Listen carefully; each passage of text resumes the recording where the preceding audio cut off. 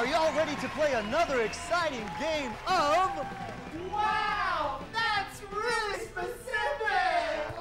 All right then, let's meet today's contestant, shall we? First up, she's a daycare dietitian from Dover, Delaware, who loves Dotsons and dim sum. Please welcome Denise Darlington. Hi, Denise. Hi, Wink. I just want to say hello to my husband Dave and my kids Dirk and Debbie. Next up, we have Nancy Newcastle from Newark, New Jersey. Nancy is a night nurse who loves Nickelback and gnocchi. Hi, Wink. I'm just so happy to be here. And last up, we've got Carol. Do you uh, have a last name, Carol? I do. Oh, and uh, what do you do for a living, Carol? I'd rather not say. Oh, okay, well, how about you say hi to some of your friends and family out there? Or maybe you want to tell us about your hobbies, Carol? I do not care for cilantro. Oh.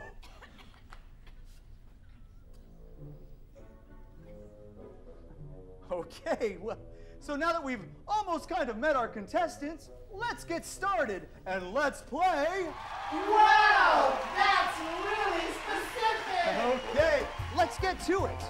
We asked 100 people, what is the best way to break up with someone? Nancy. Write him a letter, Wink. Uh-oh, looks like someone forgot the name of the show. Oh. Let's see if it makes the board.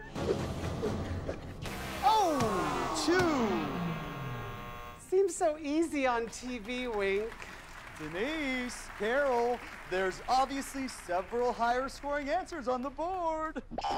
Denise, how are you breaking it off with that guy you've been dating? Or that gal? Hey, we don't judge here at Wow, that's really specific. Happy Gay Pride, Denise. Wink, I'm normal. I would send him a text. Oh. At 2:22 on a Tuesday? Yeah, and let's see how many people agree with you.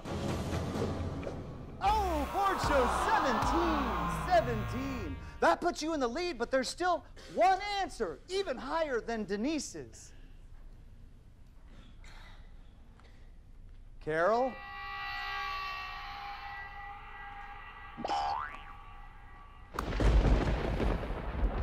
Take them to the Olive Garden, the one in the shopping mall.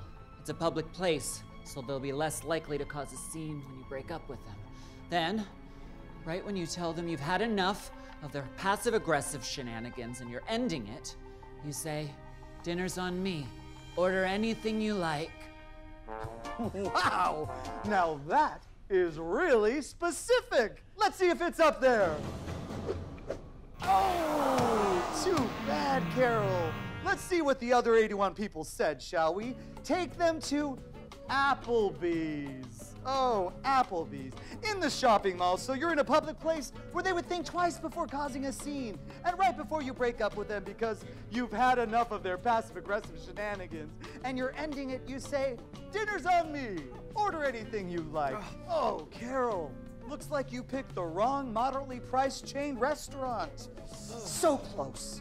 All right, let's go to round two. We asked a hundred people if you could eat just one thing for the rest of your life, what would it be? And remember, be specific. Denise. Macaroni and cheese, but made with cottage cheese and bacon bits. Oh, cottage cheese. Oh, it's so moist and creamy. Well, let's see how many people are craving the same thing. Oh, Lord shows five. Really? It's so delicious. Nancy. Well, I'm a real chocoholic, Wink, so I'm gonna have to say a double fudge brownie with Rocky Road ice cream. well, someone's got a sweet tooth, huh? Let's see if it's on the board. Oh, 11. Damn it all to hell. There's still that number one answer up there. Carol?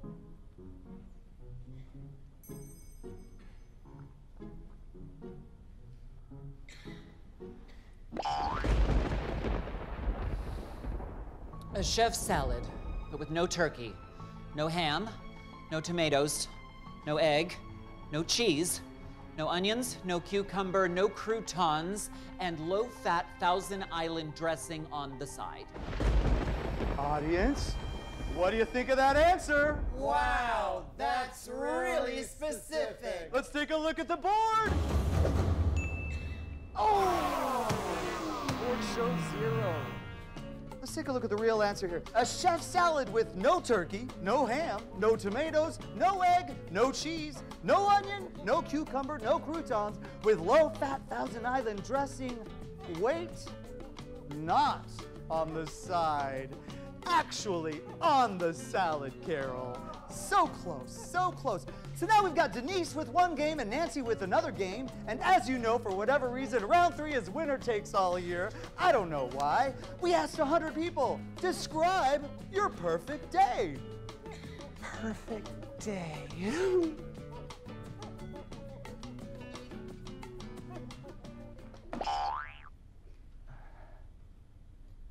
Carol. My perfect day. I would wake up at 6 a.m. because I'm very excited to go on my favorite game show. For breakfast, I would have half of a grapefruit because I don't want to gain weight. Then I'd have a cup of decaf coffee because I don't want to be too jumpy. Then I'd put on a silk leopard print blouse, a little bit of mascara, and my favorite lipstick because I don't want to look like an overpainted whore. Silk. Then at the studio, backstage, I would fill my purse with granola bars and licorice from the craft service table. I would also shamelessly flirt with Dave, Denise's husband. During the game, I would do very poorly during the first two rounds. And then, during the third round, I would rise like a phoenix from the ashes, not only to win the game, but to dazzle the audience with a brilliant dance number. Hit it!